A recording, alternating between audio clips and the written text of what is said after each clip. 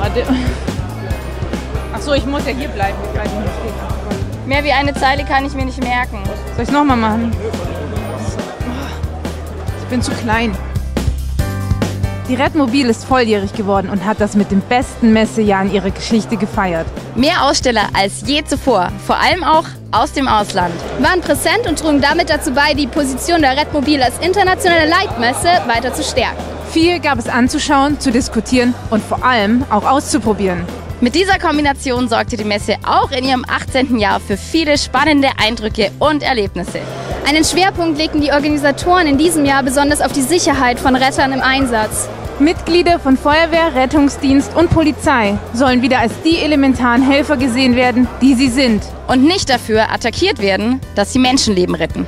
Wie lange es dauert, bis dieses Umdenken sich durchsetzt, ist zwar noch unklar, aber die Redmobil hat einen Grundstein bereits gesetzt. Mit Workshops, Fortbildungen und Podiumsdiskussionen ermöglicht sie jedes Jahr wieder eine Vernetzung des Rettungswesens. Und bietet eine Plattform für solche aktuellen Diskussionen. Austausch unter Rettern ist wichtig und wegweisend für die Zukunft des Rettungswesens. Gleichzeitig macht er aber auch einfach Spaß. Und dafür ist die Redmobil der beste Beweis. Das war's schon.